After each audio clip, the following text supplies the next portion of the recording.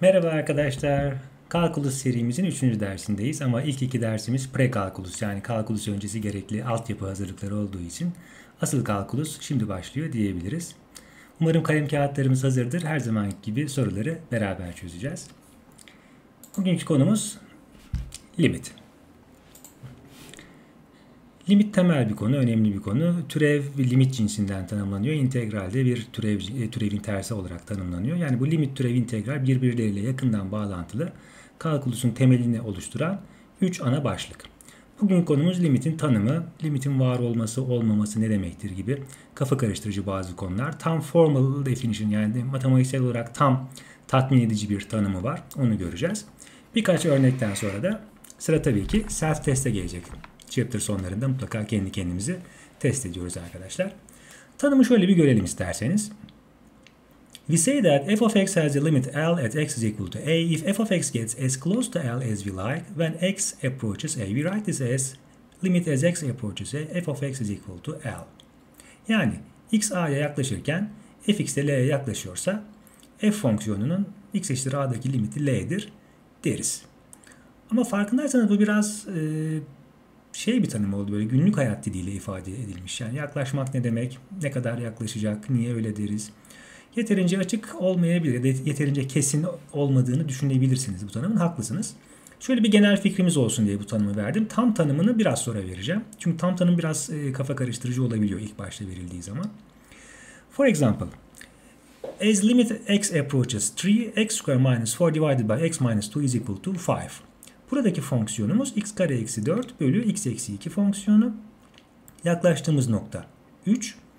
E, e tabi 3 noktasında bu fonksiyonun herhangi bir problemi olmadığı için direkt ilk 3 sayısını bu fonksiyonda yerine koymak gibi bir imkanım var. Onu yaptığım zaman da tabi işlemler çok basit burada. E, 9 eksi 4 5 bölü 1'den 5 çıkıyor. Ama şu soruda e, fonksiyon aynı farkındaysanız. Fonksiyonu değiştirmedim. Sadece noktayı değiştirdim. Yani fonksiyon eşit dereceler hala basit ya da karmaşık. Ama e, sadece x'in yaklaştığı noktanın değişmesinden dolayı sorunun karakteri bayağı bir değişti. Çünkü bu sefer artık x gördüğüm yere 2 koyma imkanım kalmadı. 2 de alt taraf 0 olacağı için e, tabii hiçbir şeyi sıfıra bölemeyeceğimiz için e, bu fonksiyon iki noktasında tanımsız. Tabii her fonksiyon her noktada tanımlı değildi. Bunları geçen haftalarda görmüştük zaten. E peki bu soru nasıl çözülüyor? Hepinizin gayet iyi bildiği x kare eksi 4 eşittir. x eksi 2, x artı 2 ayrıştırmasını yapıyorum. Çarpanları ayırmasını. x eksi 2'leri götürüyorum ve oradan 4 sonucunu buluyorum. E, yani buradaki birinci soru görünürde o da bir limit sorusu olmakla beraber özel bir numara yapmamı gerektirmiyor. Yani asıl limit soruları şu ikinci tipinde olan sorular. Bir de şunlar var. Bunları da unutmuyoruz arkadaşlar. Limit x 2'ye giderken x kare artı 4 bölü x eksi 2. Bunun limiti nedir diye sorulduğu zaman cevabımız limit does not exist. Çünkü x 2 civarındayken x eksi 2 tabii ki 0 civarında olacak. Ama x kare artı 4 8 civarında. E nasıl olacak o zaman? Onun ona bölümü sürekli çoğalacak. Yani limit herhangi bir sayıya yaklaşmadığına göre, fonksiyon herhangi bir sayıya yaklaşmadığına göre limit söz konusu değil. Limit demek fonksiyonun giderek yaklaştığı sayı demek. E, sonsuza gidiyorsa o halde limit sonsuzdur diyemiyoruz. Çünkü limit sonsuz anlamlı bir laf değil. Sonsuz bir sayı değil çünkü. E, bu kavramın daha iyi anlaşılması için standart bir örneğimiz vardır. Sinüs x bölü x. Let's investigate what happens to f of x is equal to sin x over x as x approaches zero. Standart örneklemem şu yüzden. x eşittir sıfırda bu fonksiyon da tanımsız. Tıpkı deminkinin 2'de tanımsız olduğu gibi. Ama gene de x sıfıra giderken fonksiyon ne yaptı? Son derece anlamlı, mantıklı, makul bir soru. Mantıklı da bir cevabı var. Ee, bunu bir hesap makinesiyle yapacağım arkadaşlar kolaylık olsun diye. Sizin de elinizin altına şöyle bir scientific calculator bulundurmanızı tavsiye ederim.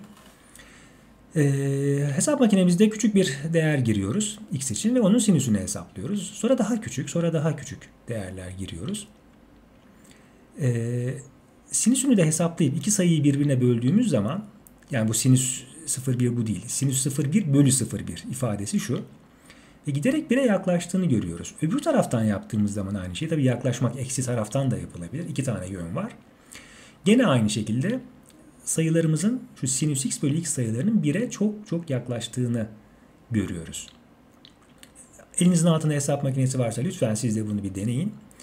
Ee, eğer bu tabloda gördüklerinizle hiç alakasız sayılar buluyorsanız makinenizi dereceye ayarlamışsınız demektir. Şimdiden o hatayı düzeltelim dönemin başında. E, makinelerimizi lütfen radyana ayarlayalım. Çünkü kalkulusta her zaman radyan kullanacağız. Bu sinüs x bölü x'in 1 olması gibi sonuçlar da tabii radyan kullandığınız zaman ancak karşımıza çıkan şeyler. Aksi derece kullansaydık pi bölü 180 gibi çok daha farklı ve daha garip sayılar çıkacaktı. Yani bu hesap makinesiyle yaptığımız deney bize şunu düşündürüyor. This suggests that although f0 is undefined, f of x approaches the number 1 as x gets closer and closer to 0. Her ne kadar f fonksiyonu sıfırda tanımsız da olsa fx fonksiyonunun değerinin x sıfıra yaklaştıkça 1'e yaklaştığını düşünebiliriz. Tabii ki bu bir ispat değil. Bu bir nevi deney gibi bir şey. Matematikte deneyler sonuç vermez. Fizik gibi değildir.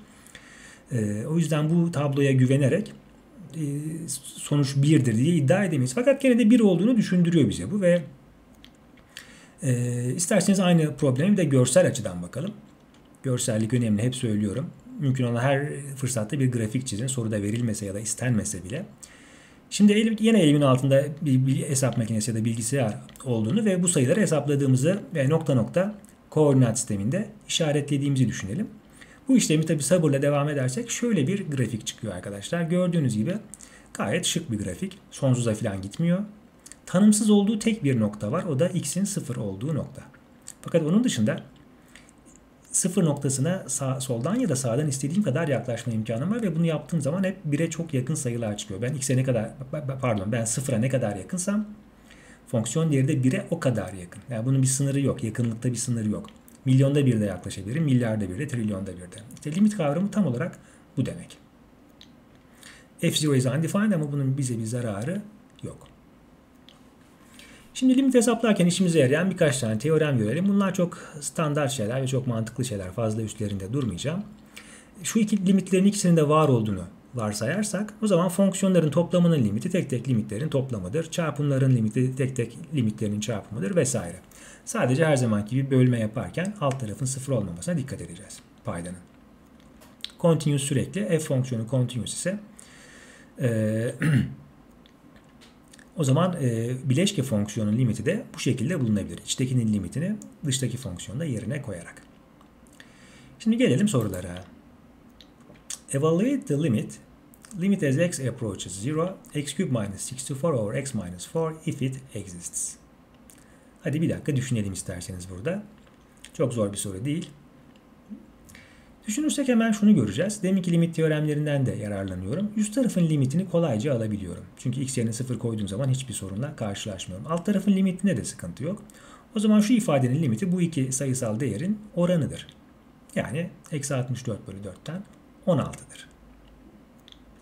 Yani diyorum ya görünürde bir limit olmakla beraber özel bir numara yapmadığım için benim gözümde bu bir limit sorusu bile değil aslında. Çok basit bir işlem yaptık. Hepsi bu. Yani limite özel bir işlem de değil o.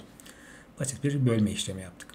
Fakat aynı soruyu şöyle sorsaydım yani aynı fonksiyonda 4 noktasına yaklaşsaydık bu sefer ortada bir sorun olacak çünkü division by zero is undefined. O yüzden use factorization yani çarpanlarına ayırma işlemini kullanmak durumundayım. Neyi çarpanlarına ayıracağım? Tabii üst tarafı. İşte burada daha önceki videolarımda bahsettiğim lise altyapısı gündeme geliyor. Cebirsel işlemler, polinom işlemleri bunları bilmem gerekiyor. x küp eksi 64'ü şöyle açarsak bana sorun çıkaran x eksi 4 faktörlerinden kurtulabilirim. Onları sadeleştirdiğim zaman şu kesir şuna indirgeniyor. Bölü 0 ortadan kalkıyor. Bu da deminki teoremden dolayı tek tek şu, şu ve şu yani şu 3 fonksiyonun limitlerinin toplamına eşittir. Onlarda da hiçbir numara yok. 4'ün karesi 16 vesaire. 16, 16, 16 daha 48'i bu şekilde bulabiliyoruz arkadaşlar. Devam edelim. Ee, çok kafa karıştıran şeylerden biri bu limitin var olup olmaması. Zaten ben soruları sorarken hep evaluate the following limits if they exist şeklinde ifade ediyorum soruları. Çünkü limitin olup olmadığı belli değil. Hani bazen öğrenci şöyle yorumluyor. Find the limit filan gibi bir soruda hoca limiti bul dediyse kesin bir limit vardır ama öyle düşünmeyin. Şunu unutmuş bile olsak if they exist kısmını siz lütfen limit sorularını gene de o şekilde algılayın. Yani limit varsa limit varsa limiti bul. Limit yoksa bana limitin olmadığını söyle. Yani her limit sorusunda kastedilen aslında odur. Açıkça söylenmese bile. Hadi bakalım burada bir dakika duralım ve limit x sıfıra giderken 1 bölü x karenin ne olduğunu herkes kendisi düşünsün. Evet, düşündük mü arkadaşlar? Ne bulduk? Limitin olmadığını herhalde hepimiz kolayca görebiliyoruz. Ee, gene ben fonksiyon grafiğinden yararlanacağım. Grafikte çok daha net olarak görüyoruz ki x sıfıra yaklaşırken fonksiyon sonsuza gidiyor. Dolayısıyla limit is infinity ve bunu lütfen e, bir limit var o, o limitte sonsuz gibi algılamayın. Limit is infinity demek limit yok demek zaten. Şimdi bunu deneyelim arkadaşlar. x sıfıra giderken 1 bölü x'in limitini. Burada da gene limit yok. Ama grafiğe dikkatle bakarsak x sıfıra artıdan yaklaşırken artı sonsuza eksiden yaklaşırken eksi sonsuza giden bir fonksiyon grafiği olduğu için bu sefer limit does not exist diyorum ama ayrıca da şey demiyorum. E, limit is infinity demiyorum. Sadece limit does not exist diyorum. Üçüncü sorumuz gene durduruyoruz videoyu arkadaşlar. Kendimiz deniyoruz. Limit x sıfıra giderken x bölü mutlak değer x. Bunu görebildik mi? Gene grafik bize çok yardımcı olacak. Mutlak değer x, x pozitifken x'in kendisi olduğu için onların oranı 1 oluyor. Ama sol tarafta yani x'in negatif değerleri için eksi 1 oluyor. Tam sıfırda tanımsız. Bu sefer de gene limit dn. Kısaca dn dediğim şey limit does not exist. Ee, bu sefer limitin var olmamasının sebebi dikkat ettiyseniz A ve B şıklarındakinden farklı. Çünkü sonsuza giden bir durum yok. Fakat limitin tanımında belli bir sayıya yaklaşması dediği için bu da belli bir sayıya değil de iki farklı sayıya yani sağdan 1'e soldan eksi 1'e yaklaştığı için burada da gene limit does not exist limit yok. Limit is infinity dediğimiz zaman da gene limit yok demiş oluyoruz aslında ama arada ince bir fark var. Limit does not bir adımı daha fazlasını söyleyip limitin var olmama sebebini de açıklamış oluyoruz. Yani limitin var olmamasını gerektiren çeşitli sebepler var. Limitin sonsuz olması onlardan bir tanesi. İsterseniz bunu ortaokul yıllarımızdan hatırlayacağımız Venn şemalarıyla ifade edeyim burada ne kastettiğimi. Limit does not exist kümesi şu kırmızı küme ise limit is infinity onun bir alt kümesi. Tabii ki limit is minus infinity de bir diğer alt küme. Bunlar basit. Ama left and right limitsin different yani sağ, sağ ve sol limitlerin farklı olması bir başka ihtimal. Bir başka olasılık limitin var olmamasını gerektiren ya da function oscillates between two or more values. Fonksiyonun iki değer arasında gidip gelmesi bir başka sebep ve bu dördünün dışında daha başka sebepler de var. O yüzden tam bir liste vermek zor. Yani çok garip fonksiyonlar, çok garip şeyler yapabiliyor. Dolayısıyla biz limit is infinity dediğimiz anda limit does not exist de demiş oluyoruz. Ama ikisi aynı anlama gelmiyor. Çünkü limit does not exist ise bu limit is infinity demek değildir. Bu ayrıma dikkat edelim arkadaşlar. Şimdi bir ana fikri elde ettik limitle ilgili bir fikri oluşturduk. Gelelim formal definition'a. Formal sözlüklerde resmi yazar ama bu limitin resmi tanımı değil. Tam bir Türkçesi yok aslında buradaki kullanımın. Belki tam tanımı ya da tam matematiksel tanımı ya da kesin tanımı gibi çevirebiliriz Türkçe'ye. Tanımımız şöyle birazcık karmaşık arkadaşlar. Gelin okuyup anlamaya çalışalım. The number L is the limit of f of x as x approaches a if given any epsilon greater than 0 there exists delta greater than 0 such that absolute value of fx minus L is less than epsilon whenever absolute value of x minus a is less than delta. İsterseniz burada durdurun videoyu birkaç kere daha okuyun. Buradaki ifadeyi anlamaya çalışın. Söylediği şey şu. Ee, f fonksiyonu x a'ya yaklaşırken limiti l'dir demek şu demektir.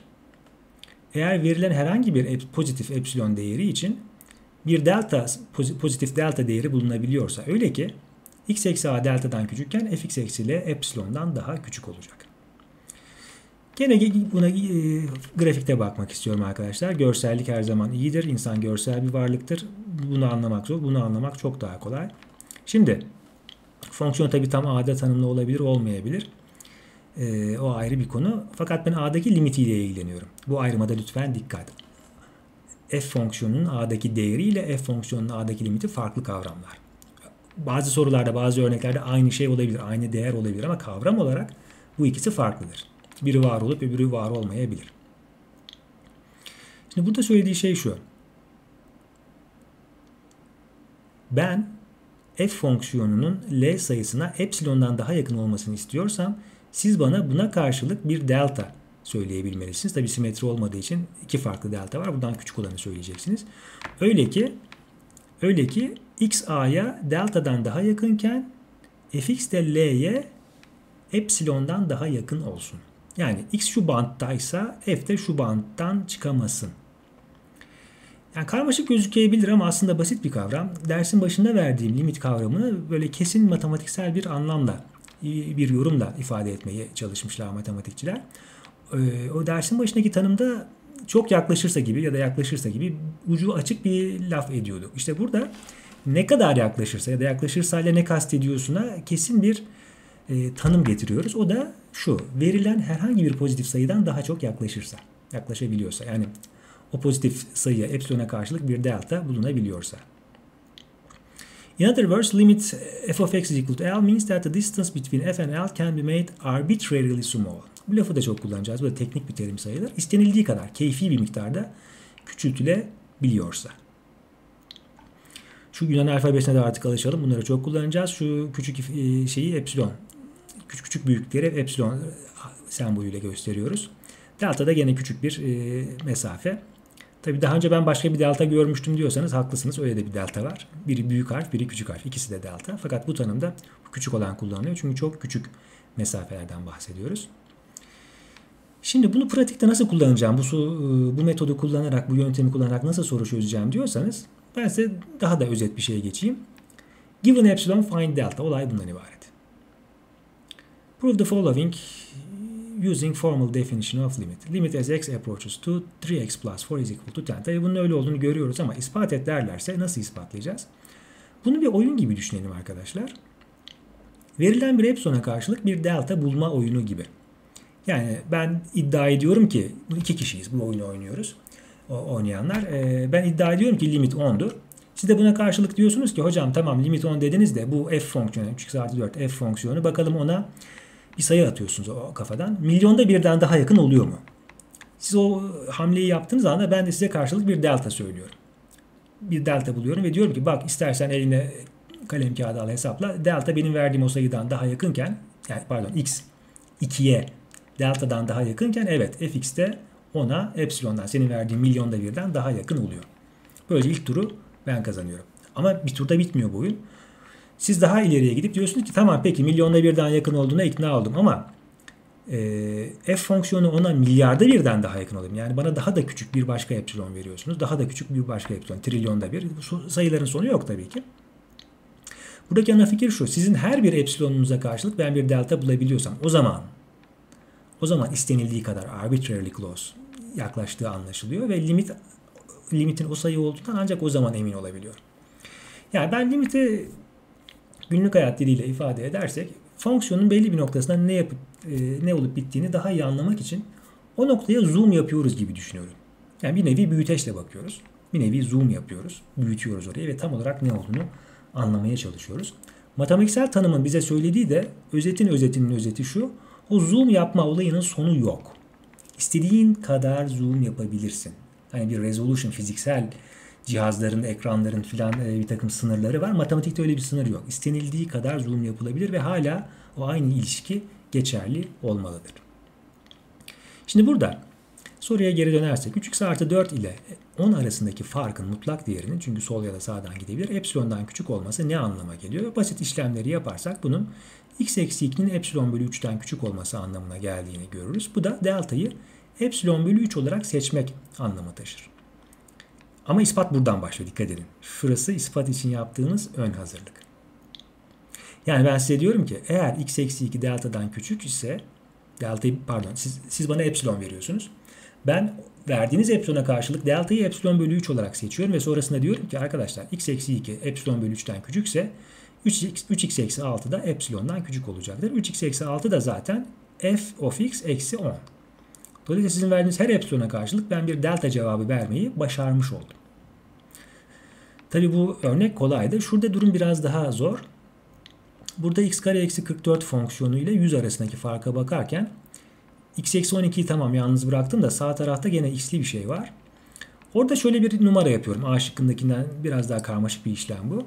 x eksi 12'nin birden küçük olduğunu hayal edersek x'in 12 civarında olduğunu yani 11 ile 13 arasında olduğunu x artı 12 de 25'ten küçük oluyor. O zaman delta epsilon bölü 25'ten küçük oluyor. Çünkü epsilon bölü 25 daha büyük. O yüzden delta'yı tabii şurada bir varsayım yaptığım için 1 ile epsilon bölü 25 sayısından hangisi daha küçükse onu seçiyorum. Ve bunu yaptığım zaman x eksi 12 x artı 12 çarpımı epsilondan küçük çıkıyor. O da x kare eksi 144 o da fx eksi 100 oluyor. Yani ara işlemleri size bırakıyorum. Dikkatli bir şekilde bunu yaparsanız birkaç farklı epsilon için bunu deneyin. Epsilonu bir 50 alın, bir 25 alın, bir 5 alın mesela. Bir 0.5 alın. Şunun söylediği şeyler 50 aldığım zaman delta'yı 1 seçmem gerekiyor. 25 aldığım zaman da 1 seçmem gerekiyor. Ama 5 aldığım zaman epsilonu delta'yı 5 bölü 25, 1 bölü 5, 0.2 seçmem gerekiyor. Bunları gerekirse hesap makinesiyle yapın. Ve şunun şöyle olduğuna kendinizi lütfen ikna edin. Bu epsilon delta yöntemi bu şekilde kullanılıyor. Evet, şimdi biraz daha normal, makul, mantıklı limit sorularına gelirsek. Hadi bakalım bunu bir deneyelim arkadaşlar. Denedik mi? Bu oldukça basit bir soru çünkü yukarısı 0 aşağısı 50 dolayısıyla sonuç 0. Bir de bunu deneyelim. Bunu denedik mi? Bu sefer durum biraz farklı. Çünkü x eksi 5'lerin birer tanesini götürebiliyorum ama alt tarafta bir tane kalıyor. E bu ifade de üst taraf tamam makul mantıklı bir şey ona gidiyor ama alt tarafın sıfıra gitmesi 10 bölü 0 tanımsız. Yani e, fonksiyon tanımı zaten tanımsız da limit de yok. Fonksiyon tanımsız olması otomatikman limitin olmadığı anlamına gelmez ama x5'e yaklaştıkça şu ifade sağdan soldan artı eksi sonsuzlara gittiği ve spesifik bir sayıya yaklaşmadığı için limit does not exist diyorum. Dikkat edin lütfen bir ayrıntı daha. Limit is infinity diyemiyorum. Çünkü limit is infinity ancak x5'ten büyük değerlerle yani sağdan yaklaşırsa. Soldan yaklaşırsa minus infinity. Bir de bunu yapalım arkadaşlar. E, üstteki sorunun aynısı gibi gözükebilir ama bu sefer e, x 6'ya yaklaşıyor. İnce bir farklılık var yani. Sanırım bunu herkes yaptı. Çünkü bu demin de bahsetmiştim. Görünürde limit sorusu gibi bunlarla aynı düzeyde belki daha zor gibi bile gözüküyor olabilir ilk başta. Fakat aslında çok daha basit. Çünkü direkt olarak 6 sayısını yerine koymamda hiçbir sakınca yok. Ve bunu yaptığım zaman da 11 sonucunu bulabiliyorum.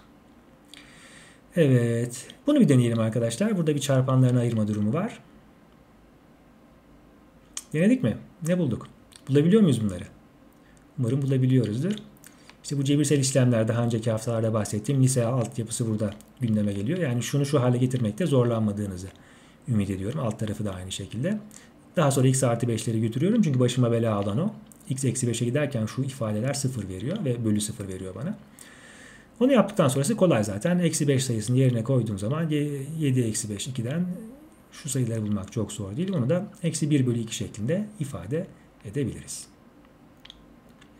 Bu soru deminkinin hemen hemen aynısı ama e, kübik bir polinom olması, x küple başlaması işlemleri bir tık daha zorlaştırıyor. Hadi bir deneyelim.